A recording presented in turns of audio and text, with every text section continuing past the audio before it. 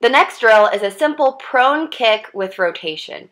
And here what you want to focus on is a strong and straight, steady head, as well as controlling your rotation, not going all the way onto your side, but just a simple and controlled rotation from one side to the other while maintaining that kick.